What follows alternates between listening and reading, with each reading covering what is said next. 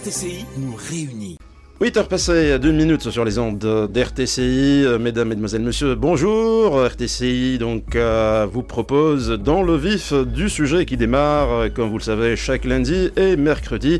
Aujourd'hui, je vous propose de parler agriculture avec Monsieur Omar Behi, secrétaire d'État auprès du ministre de l'Agriculture, des Ressources hydrauliques et de la pêche chargé de la production agricole. Monsieur Behi, bonjour et merci d'avoir accepté l'invitation. Bonjour.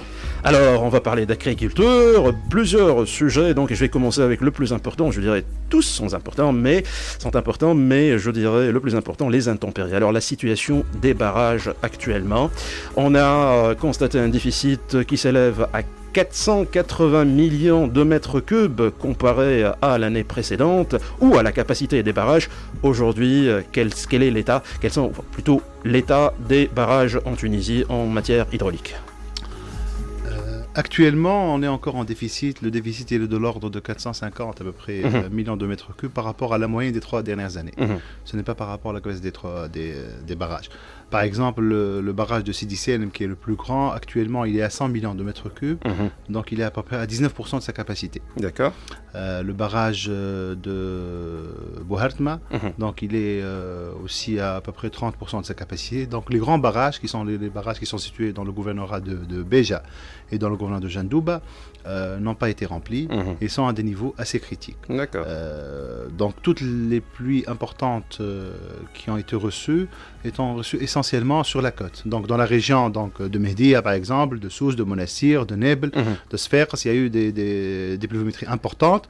Les pluviométries qui sont enregistrées donc, dans les gouvernorats de Jandouba mhm. et de Beja sont très en deçà par rapport aux capacités mhm. et par rapport aux moyennes qui ont été enregistrées, les, les euh, disons les, euh, les moyennes qui ont été les 10 ou les 20 dernières années. D'accord. Donc on espère qu'avec euh, les prochaines pluies, parce que disons les dernières pluies en euh, disons, surtout en servi euh, à avoir donc euh, une, une, capacité au niveau du sol. Donc c'est le sol mhm. qui a reçu ces pluies-là. Et donc le sol là, il est pratiquement la capacité au champ, il est, il est rempli d'eau. Donc les prochaines pluies mhm. vont servir au, ruissellement et c'est le ruissellement qui va remplir les barrages. Donc on espère qu'avec la venue donc des prochaines pluies, donc surtout au mois de, de janvier et de février, mhm. on aura donc du ruissellement et c'est le ruissellement qui va lui remplir les barrages. Mais quand même la situation elle reste critique. Il faut être vigilant donc par rapport à ces stocks d'eau. Actuellement, donc, une grande quantité d'eau est pompée. Chaque jour, pratiquement, on a entre 500 et 600 000 mètres cubes qui mhm. sont pompés du barrage donc de Sidi Barrer mhm. au barrage de Sajnen. Et par la suite, euh, ces quantités-là vont descendre pour euh, l'eau potable, pour le Grand Tunis, pour Sfax, pour euh, ravitailler, donc, les exactement. Donc, quand même actuellement, alors que généralement, ces eaux, donc une grande partie de ces eaux provenaient plutôt du barrage Sidi Selm. Mhm. Maintenant, depuis pratiquement deux mois, plus aucune goutte n'arrive du barrage de Sidi Selm. Donc, parce que la situation au niveau de ce barrage, elle est donc assez critique.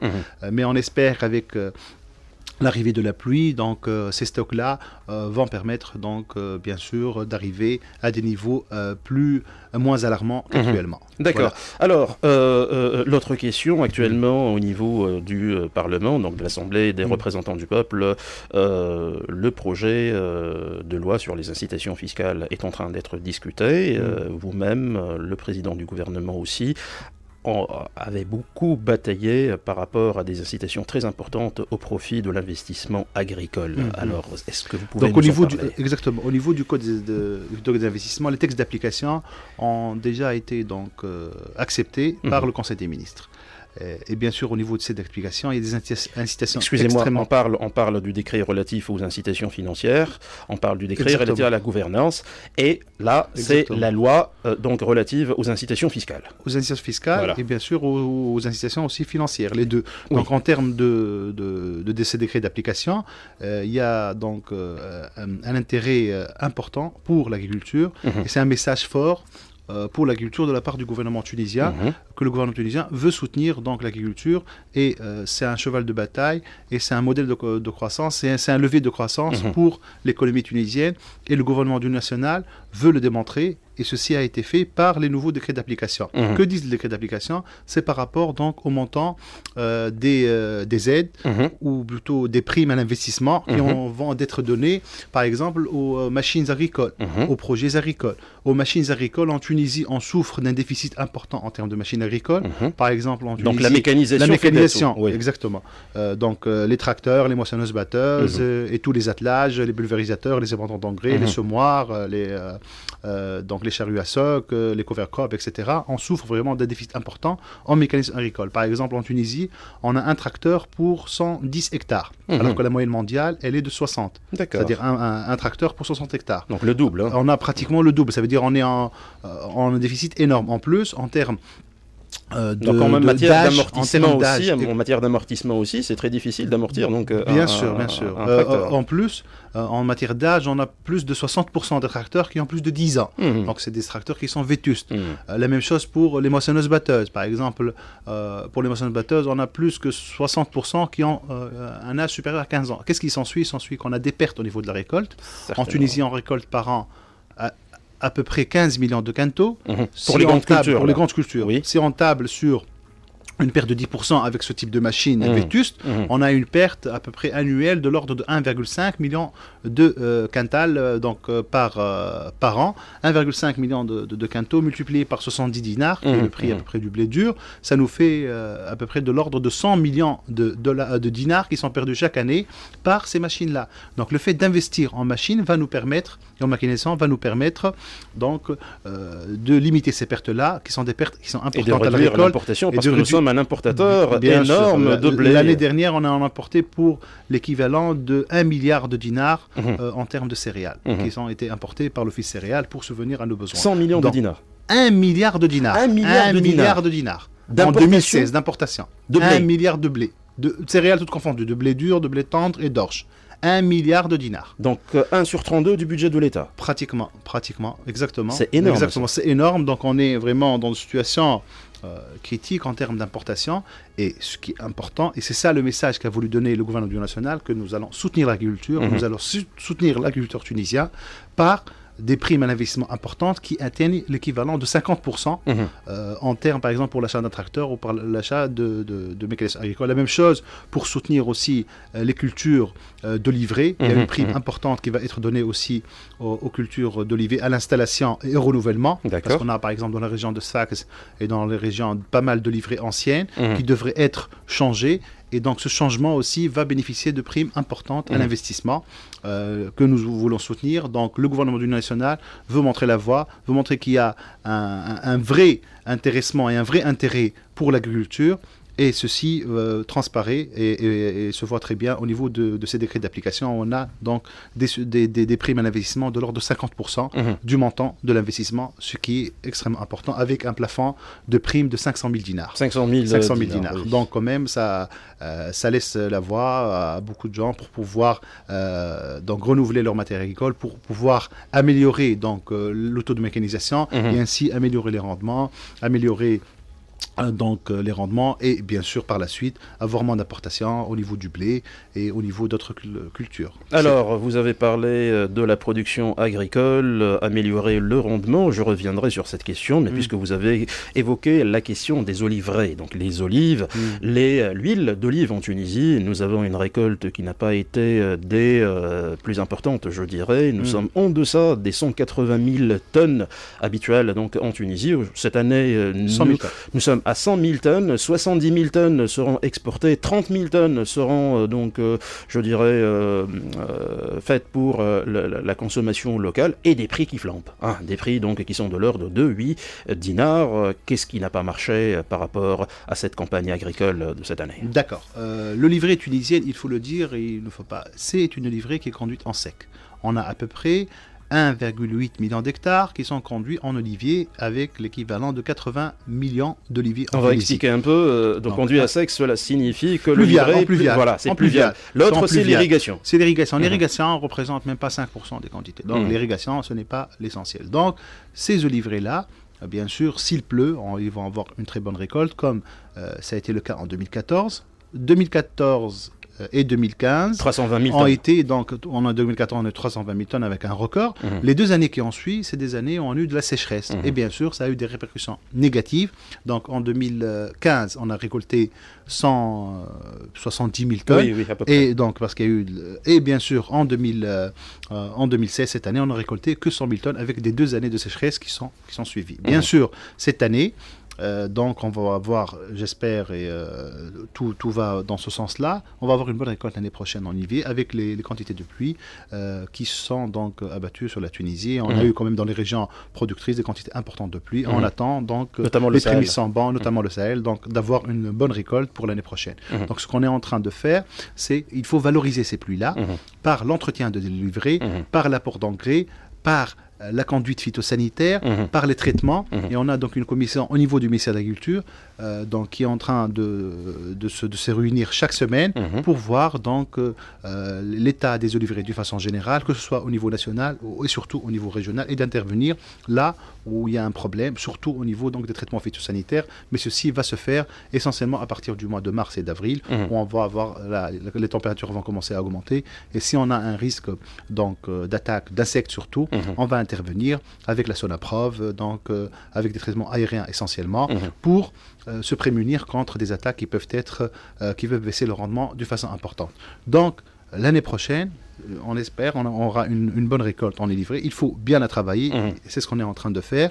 Il faut bien suivre euh, donc les cultures, et c'est ce qu'on est en train de faire actuellement. Aussi, il faudrait avec notre programme de la plantation de 10 millions d'oliviers, Oui, oui. euh, oui. donc aussi, c'est, euh, ça montre que le gouvernement de, un projet national, exactement, Mhm. euh, que le gouvernement d'Union nationale s'intéresse à cette culture-là. Pourquoi? Parce que pour l'olivier, on n'a pas un problème de surproduction. Mhm. Par exemple, pour les autres cultures, on a deux, disons, euh, deux volets ou disons deux spéculations. On n'a pas un problème de surproduction. Mhm. Ce sont les céréales et l'huile d'olive. Mhm. Les céréales, on importe plus que 50% de nos besoins. Donc, euh, toute la production, elle va être absorbée par le marché local. Le prix est garanti. L'huile d'olive, on a un marché mondial qui Preneur. est preneur. Oui. Euh, euh, donc les prix ne sont pas déterminés par le marché intérieur. Mhm. Donc les prix cette année ont flambé Mhm. en Tunisie. Pourquoi? Parce qu'au niveau mondial, il n'y a pas eu donc euh, beaucoup de production. Donc les prix à l'exportation déterminent le prix à l'importation. Oui, Et bien sûr, avec la dévaluation du dinar, ça a fait que les prix ont augmenté. Au niveau donc du marché local. Et on devient Et concurrentiel. on devient concurrentiel, Mhm. bien sûr, et même donc ça devient extrêmement intéressant pour les agriculteurs de, euh, de planter de l'olivier. Cette année, le kilogramme d'olive Mhm. est arrivé jusqu'à 1 dinar 800.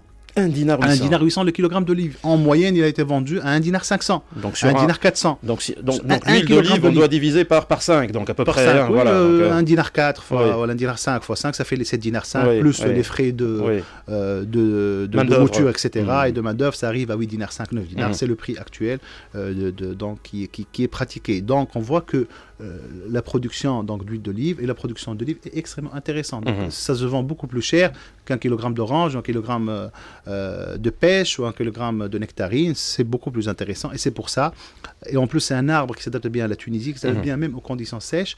On a, des, des- par exemple, à Sfax, où, il pleut moins que 300 mm dans Mhm. certaines régions, on peut avoir de bonnes récoltes, une année sur trois, une année sur quatre. Mhm. Et ça va nous permettre. Et le rendement est meilleur. Et, et le rendement, bien sûr, est meilleur. Et, et- et les charges sont, sont moindres. Donc, vraiment, c'est un arbre béni pour la Tunisie. Et Mhm. on doit. euh, c'est un fondamental. Il faut, il faut toujours miser sur la fondamentaux. On a un fondamental, c'est l'huile d'olive. L'olivret est, un, est, un, est une spéculation fondamentale en Tunisie. Il ne faut pas l'oublier et il faut investir. Et c'est ce qu'on essaie de faire avec notre, le, le projet donc, de- du gouvernement national de planter 10 millions d'oliviers dans les, Sur cinq ans. cinq- sur les cinq prochaines années. Mhm. Et donc, on a déjà Dans le un- nord euh, dans le nord et même dans, dans le, dans, dans le centre et, et dans le centre, dans les deux, dans le nord et dans le centre. Mais Mhm. essentiellement une partie dans le nord et aussi avec le code des investissements, avec les textes d'application, on Mhm. va aussi encourager euh, le renouvellement des olivraies parce que je vous ai dit dans la région par exemple de Sfax, on Mhm. a pas mal de problèmes avec des olivraies anciennes qui sont en deçà du rendement. On va améliorer donc les primes pour le renouvellement des olivraies Mhm. et ceci va permettre euh, aux agriculteurs donc, de la région de Sfax de profiter aussi de ça et de pouvoir renouveler leurs oliviers avec ces primes à l'investissement qui sont intéressantes. Mais monsieur le secrétaire d'État, là où le bas blesse, c'est euh, la production de notre huile d'olive n'est pas très valorisée au niveau de l'export parce que nous n'avons pas ou peu donc de label. Notre, notre production n'est pas labellisée, notre production se vend en vrac. Nous n'avons pas, ce, je dirais, ces marques très très importantes, bien que, bien que des entreprises tunisiennes sont en train donc d'être couronnées au niveau euh, mondial mm. par rapport à la qualité d'huile d'olive et par rapport donc à l'olive conditionnée. Mais je pense que l'olive conditionnée en Tunisie, donc euh, sur la totalité, je dirais, des 70 000 tonnes qui sont vendues, il y, en a, 10% qui sont conditionnées, donc qui ont donc une marque made in Tunisie. Ouais. Euh, je pense que la marge de manœuvre, elle, est extrêmement importante. On conditionne à peu près 10% à mm. peu près notre huile d'olive. Il y a 10 ans, mm-hmm. on conditionnait que 1%.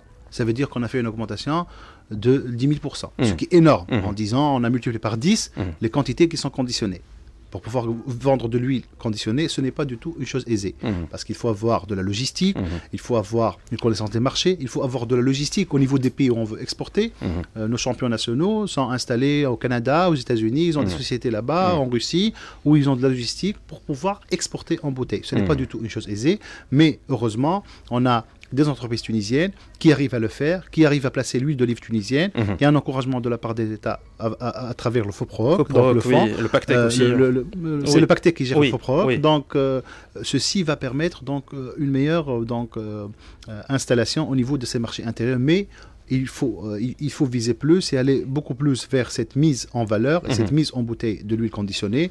Je pense que les années prochaines, on va voir euh, des histoires donc, euh, de, de, concentration au niveau donc, du conditionnement et la marge de manœuvre est importante et ça va nous donner donc, beaucoup de valeur ajoutée à notre économie et l'agriculture tunisienne à travers cette amélioration donc, de la mise en bouteille et du conditionnement de l'huile d'olive qui est extrêmement important. Mais ceci, il faut aussi jouer sur toute la filière et euh, au niveau de la production, mais aussi au niveau de la transformation, et voir la, création d'un fonds mhm. qui gère toute la filière, parce que le FOPROC actuellement ne gère que le conditionnement. Il faudrait réfléchir, c'est ce qu'on est en train de faire, à la création d'un fonds qui va gérer toute la filière, mhm. de la production à la transformation, à l'exportation, mhm. et cette filière-là, euh, et ce fonds-là, pourrait être géré par exemple par l'ONH, euh, certainement, c'est un fonds public, mais qui est euh, qui, qui, disons, qui est alimenté mmh. par, euh, par les mmh. privés, mmh. par les, que ce soit par les producteurs ou par les exportateurs. Actuellement, le FOPROC, il est, euh, il, est, il est donc alimenté uniquement par l'exportation. On pourra réfléchir à une remise de, du FOPROC pour aller vers un fonds qui gère toute la filière, qui sera beaucoup plus efficace.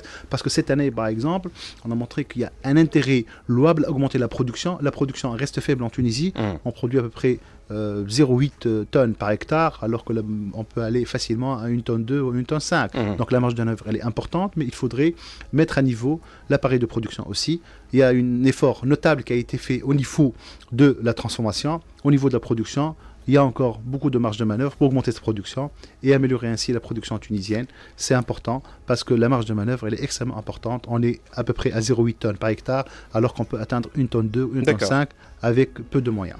Monsieur le secrétaire d'État, euh, auprès du ministre de l'Agriculture, chargé donc de la production agricole, on parle de production agricole, vous êtes là pour booster la production agricole dans ce gouvernement d'unité nationale, mais qu'en pensez-vous de ces problèmes, je dirais, de prolifération de la production, lorsque la production est très importante? C'est le cas du lait l'année dernière, c'est le cas des dates l'année dernière, et puis le cas très, je dirais, préjudiciable pour l'économie tunisienne, cette année pour les agrumes. Alors, ce n'est pas frustrant pour vous de voir toute cette production qui n'a pas l'occasion de retrouver donc un preneur par rapport aux agrumes. Qu'est-ce qui se passe avec les agrumes? D'accord. Pour les agrumes, euh, le cas de cette année, il est assez exceptionnel. Mhm. Ça veut dire, euh, si on regarde les chiffres les dix dernières années, on n'a jamais eu de surproduction comme cette année au niveau des agrumes. Ça veut dire que, euh, d'une façon structurelle, la production des agrumes a été toujours euh, légèrement déficitaire, ce qui mhm. fait que les prix étaient toujours intéressants. Mhm. Et bien sûr, pour pouvoir faire de l'industrie agroalimentaire, mhm. de, la transformation, il faut du avoir jus, euh, des confitures. Exactement. Il faut avoir une surproduction. Oui. Donc, on n'a jamais été dans un cas de surproduction. Et c'est pour ça qu'on n'a pas d'industrie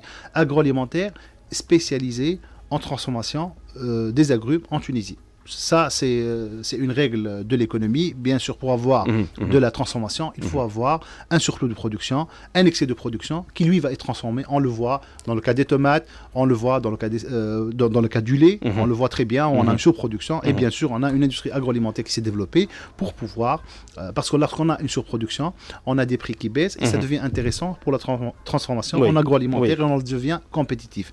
Avec les quantités qui ont été produites cette année, on a trois mécanismes pour pouvoir euh, absorber cette, cet excès. Le premier mécanisme, c'est l'export. Mhm. Le deuxième mécanisme, c'est booster la consommation intérieure. Mhm. Et le troisième mécanisme, c'est la transformation. Donc au niveau de l'export, on a le marché français qui est un marché classique. On veut aussi, on a fait des campagnes promotionnelles avec le J-Fruit en France pour Le pouvoir groupement booster interprofessionnel des fruits, oui. des fruits, donc qui est un groupement euh, Mm. de par son nom interprofessionnel qui regroupe les professionnels euh, du secteur, donc des fruits. Et bien sûr, ça va permettre euh, au niveau euh, de la France, par une campagne promotionnelle, euh, Sur la variété maltaise. sur la- surtout, on Mm. exporte surtout la maltaise, on Mm. exporte un peu de citron, on peut exporter pour, par exemple, pour la Russie, on va pas exporter de la maltaise, on va plutôt exporter donc du Thomson, donc de la navelle, Euh, et on a ici, le- c'est le, le groupement qui va intervenir pour pouvoir donner plus euh, de, de, de primes au niveau du transport. La y a une non, aide- Monsieur le euh, secrétaire d'État, nous n'avons pas une grosse Un- production de oui, bergamote. mais on n'a pas beaucoup, on a- Mm. c'est- infinitésimal. bien qu'elle soit, à- bien qu'elle soit très, très soit prisée, donc très prisée, mais euh, on n'a pas une production importante de Mhm. berga- bergamote. Essentiellement, euh, c'est la maltaise qu'on exporte Mhm. et on peut exporter du citron vers l'Italie. On a exporté l'année dernière des quantités importantes et on peut aussi exporter de la navelle parce que pour la Russie, c'est on va viser essentiellement la navelle, donc la nom oui. de Thomson. Mhm. Euh, et donc euh, cette variété-là va être exportée vers la Russie et on va donner une prime supplémentaire pour le transport. On a un bateau qui part de Sfax vers Novor- Novorossiysk. Oui. exactement. Un peu. Et euh, on a un peu moins de six jours qui Mhm. arrivent. Et donc, le, le groupement Je rappelle va que c'est une ligne directe. c'est une direct- et le groupement va donner une prime supplémentaire de, du 30, de 30% Mhm. par rapport au prix du transport pour booster les exportateurs euh, donc, euh, au niveau donc, du marché russe. Euh, le deuxième point avec l'Algérie, on est en pourparler avec l'Algérie pour pouvoir aussi exporter. euh, on a des, des industries euh, de transformation en Algérie qui Mhm. veulent exporter. On a des problèmes au niveau donc, euh, de l'entrée euh, de- des oranges. Des taxes. euh, des, des taxes, Mhm. exactement. On est en train de voir ce problème-là avec l'Algérie, mais il faudrait l'Algérie voir le problème dans son ensemble. Mhm. Euh, il- les Algériens sont assez sensibles par rapport à des produits comme la date ou la date algérienne est interdite vu les problèmes de bayoud. Oui, etc. oui, que nous risquons. Il faudrait voir ce système-là. On est en train très de très virulente très qui virulent. attaque donc les palmeraies. oui. Exactement. Donc, euh, ils sont assez sensibles par rapport à ce point-là. On est en train de voir avec eux pour essayer de limiter euh, donc, et de voir euh, augmenter les échanges avec l'Algérie, qui est un pays promoteur, qui est un pays ami. On a beaucoup de relations avec eux, mais il faudrait, euh, je pense, améliorer plus ces relations par des échanges qui, sont, euh, qui peuvent être Justement, plus en, par- importants. en parlant des dates, ju- juste une Mm. petite question par rapport au charonçon. L'année Ouais. dernière, on a eu un problème avec cet insecte-là. Donc, euh, et euh, euh, euh, c'est un insecte qui est très virulent, le Mm. charonçon. On a Mm. vu même des, des, des, des, des- palmiers donc, qui ont été décoiffés, je dirais, même donc, au niveau de Mm. Carthage. On a eu peur donc, Mm. pour les euh, du Sud. Il n'y a pas de souci par rapport à ce, à ce, à ce fléau-là, à cet Euh, insecte-là? Disons, ce- cet insecte-là, qui est le charançon rouge euh, du palmier, il a été donc essentiellement euh, observé dans le Grand Tunis. Mhm. Donc il y a une campagne pour éradiquer ce fléau-là, Mhm. euh, qui a été mise en œuvre euh, au niveau donc, de la, du ministère de l'Agriculture. Il y a une commission qui est en train de le faire. Il y a des gr- groupes et une équipe qui travaillent sur le terrain pour pouvoir éradiquer ce fléau-là. Ce fléau-là qui est important, bien sûr, Mhm. il ne faut pas qu'il arrive, c'est euh, impossible. Et là, il a été observé essentiellement dans le Grand Tunis Mhm. euh, et euh, donc euh, dans la délégation de Sidi Fept, D'accord, essentiellement. d'accord, Donc, mais oui. Il est sous contrôle, il y a une commission qui travaille, il y a une équipe qui travaille dessus. On va mettre les, bouch- les bouchées doubles pour pouvoir éradiquer cette, euh, cet insecte-là qui s'attaque au palmier dattier. Et bien sûr, il ne faut pas qu'il arrive jusqu'au, il faut pas qu'il arrive jusqu'au centre déjà, Mhm, euh, pas au sud, mhm, parce que ça va être vraiment euh, oui. quelque chose de très compliqué. On a euh, un programme qui se fait aussi avec les autorités compétentes du ministère pour pouvoir éradiquer cette, euh, cet insecte-là qui peut présenter un danger, bien sûr, pour notre palmeraie. Et on va tout faire pour pouvoir éradiquer donc, cet insecte-là. Et, le D'accord. Ministère euh, de l'Agriculture euh, s'attelle vraiment durement à la Travailler sur ça. Alors, le secteur avicole, les producteurs euh, donc des volailles sont en colère euh, devant donc la circulaire du ministère. C'est un rappel que Mm. vous avez fait par rapport donc aux abattoirs anarchiques. Mm. Ah, vous avez interdit donc ces abattoirs-là et euh, vous avez sommé les producteurs à ne plus vendre leurs produits au- à, à ces abattoirs-là. Qu'est-ce qui s'est passé? D'accord. Euh, une précision importante quand même, le- on n'a pas fait de nouveau circulaire. Il y a un Mhm, circulaire qui mhm. date donc euh, de 2005. Comme ça fait 12 ans que ce circulaire existe, euh, et donc ce circulaire interdit donc euh, la vente, la vente de, du poulet donc en vif, mhm. ce qui est normal parce que la vente en vif, vous, le savez, il y a des risques importants pour la santé humaine. il y a un phénomène qui est apparu en Tunisie ces dernières années. Ce n'est pas que la vente en vif, mais surtout ce sont les abattoirs clandestins. Mhm. Ce sont des mhm. abattoirs clandestins dans les maisons, dans les garages, avec des conditions d'hygiène extrêmement lamentables, et ça ça, ça, ça a un danger pour le consommateur. Et donc, il y a un autre problème, c'est l'influenza aviaire, mhm. donc, qui est arrivée et qui peut avoir causé des ravages au niveau donc, que nous avons remarqué dernièrement à Eshkel. Euh, euh, bien sûr, on a observé un cas, mais qui a été euh, circonscrit, qui a été circonscrit heureusement, mais ça représente un risque important pour donc l'élevage de poulets pour l'agriculture tunisienne, mhm, mhm. essentiellement pour l'agriculture tunisienne et, par rapport aux éleveurs tunisiens. Donc c'est un risque qui est important. Et bien sûr, s'il y a des, des, des, poulets vifs qui circulent en Tunisie euh, et qui circulent dans le territoire mhm. euh, dans plusieurs points, le risque il est encore plus important mhm. euh, donc de distribution de cette influenza aviaire. Mhm. Donc c'est pour cela que nous avons donc rappelé dans le cadre donc, donc dans le cadre d'une lettre qui était adressée donc au gouverneur de la possibilité de lutter contre l'abattage anarchique parce que ceci représente bien sûr un risque extrêmement important par rapport à la santé humaine et par rapport même aux éleveurs et un risque de transfert euh, de maladies. Donc c'est pour cela que ce circulaire a été, euh, a été donc euh, réactivé. Mais vous savez aussi que la production se fait donc de ces, je dirais, producteurs agricoles se fait également, donc ils vendent leur production à tous, c'est-à-dire ils vendent au circuit qui est, je dirais, organisé, mais ils vendent aussi pour le circuit qui ne l'est pas. Et, et, la question qui se pose aujourd'hui, en tant que producteur par exemple, donc le producteur qui est en train de nous écouter là, il va se demander, et moi la production, qu'est-ce que je vais en faire de cette production que j'ai actuellement La production, il y a deux niveaux. Il y a la production qui est vers les abattoirs, mais les mmh. abattoirs actuellement euh, travaillent à peu près à 30% de leur capacité. Ça mmh. veut dire qu'à peu près 30% euh, de, du poulet qu'on consomme, mmh. il provient d'abattoirs et le reste provient d'abattoirs anarchiques. Cette situation. 30% 30%. Et 70% proviennent donc. C'est ça, ça veut dire que le marché parallèle a emporté sur le marché. Donc, c'est pas normal. Comme il y a des abattoirs. Euh, qui sont installés en bonne et due forme, qui ont, qui ont reçu l'attestation sanitaire pour pouvoir, euh, qui travaillent dans des conditions mmh, mmh. Euh, importantes de, euh, de, respect d'hygiène et de mmh. respect donc des règles, etc.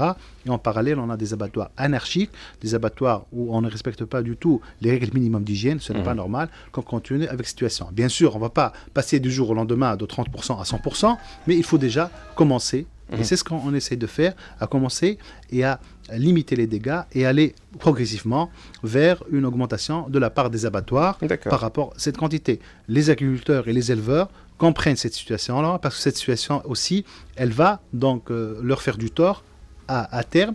Et on est en train actuellement de travailler sur un contrat d'intégration mhm. entre les éleveurs et euh, les, euh, les, abattoirs. Et ce contrat d'intégration va euh, limiter les règles de chacun, les devoirs de chacun et surtout les marges bénéficiaires mhm. de chacun pour que ce, ce, contrat d'intégration puisse euh, être donc euh, utilisé par tous les éleveurs et par tous les abattoirs et ainsi améliorer la part donc du, du poulet qui est abattu dans les abattoirs euh, non pas clandestins, mais les abattoirs officiels et les abattoirs euh, qui ont reçu donc leur attestation sanitaire. C'est important parce que ça en va de la santé humaine et de la santé du Tunisien. Nous y accordons beaucoup d'importance. Bah, Monsieur Ormal Bey, secrétaire d'État auprès du ministre de l'Agriculture, des Ressources hydrauliques et de la Pêche chargé de la production agricole, je vous remercie beaucoup pour ces éclaircissements. C'était très très intéressant de vous écouter sur plusieurs sujets qui intéressent notre agriculture, qui reste malgré tout, je dirais, l'enfant pauvre donc de l'économie nationale et on voudrait réellement que euh, euh, la contribution de l'agriculture dans le PIB tunisien soit très très importante. Et on compte donc sur ce gouvernement-là pour booster les choses. Peut-être les choses sont en train de, changer par rapport à la loi sur les investissements, sur l'investissement. Et on espère réellement que les circuits de distribution donc et que les agriculteurs puissent bénéficier de cette euh, manne législative, on va dire. Hein. Je vous assure que le gouvernement du national euh, accorde une, une, part très importante donc, euh, à l'agriculture et donc Monsieur le chef du gouvernement l'a montré pendant le question des ministres où il a arbitré pour l'agriculture et c'est important, c'est un message fort pour les agriculteurs que le gouvernement national appuie l'agriculture et les agriculteurs pour permettre, comme vous le dites, d'améliorer donc euh, leur contribution à l'économie. On a vraiment une marge de manœuvre très importante et j'espère donc que les prochaines années verront donc l'avènement d'une agriculture plus performante plus bénéfique pour tous. Pour tous, exactement. Voilà, c'était le mot de la fin. Merci beaucoup, monsieur le secrétaire d'État, dont le vif du sujet arrive à son terme. Et euh, j'espère que vous avez eu du plaisir à nous écouter. On se reverra donc euh, lundi prochain, même heure, même chaîne. Restez branchés sur les ondes d'RTCI. Alors à 8h30, le vrai du fou de Denis Cheuch. Puis Arfé Farley prendra la relève jusqu'à 9h30 pour continuer la matinale de RTCI. D'ici là, Ennis vous salue et vous souhaite de passer une excellente journée. Au revoir. RTCI nous réunit.